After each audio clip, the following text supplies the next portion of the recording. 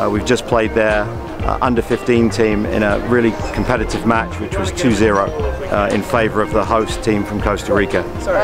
The game was very competitive. The Costa Rican team was very organised and very technically sound, and uh, they had several Costa Rican national team age group players, and they performed very, uh, very well.